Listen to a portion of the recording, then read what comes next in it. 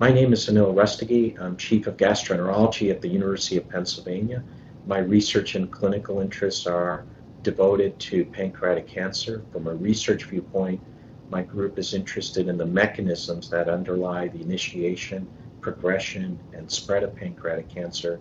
And from a clinical viewpoint, I'm heavily immersed in the identification characterizations of patients and family members who are at increased risk for pancreatic cancer and who might then be amenable to genetic testing and counseling. Amongst the uh, risk factors that are inherited on a familial basis for pancreatic cancer is something that I'm asked about, and one relates to what's called FAM, F-A-M-M-M, which stands for familial atypical mole and multiple and melanoma uh, syndrome. So this is an unusual or rare condition, but if suspected, needs to uh, be evaluated. So in this context, individuals in the family uh, will have um, uh, melanoma. There should be at least two family members with melanoma.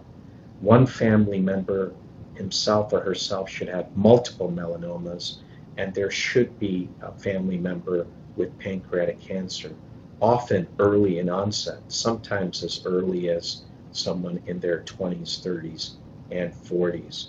So, um, um, in the combination of melanoma and pancreatic cancer, one should be concerned about this uh, syndrome. And actually, the genetic basis is known uh, for this. The gene that is altered or mutated that can be identified through genetic testing is called P16. Um, and so, if one seeks the appropriate genetic testing and counseling under informed consent, then um, P16 genetic testing can be obtained.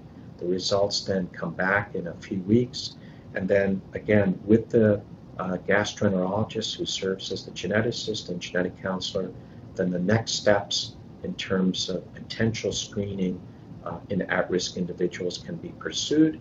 And also then, um, if it's known that a particular family member has a P16 gene mutation, then other at-risk members, siblings, children, in an age-appropriate uh, fashion, uh, first cousins, uh, uncles and aunts can be screened as well to see if they either have the mutation or they don't.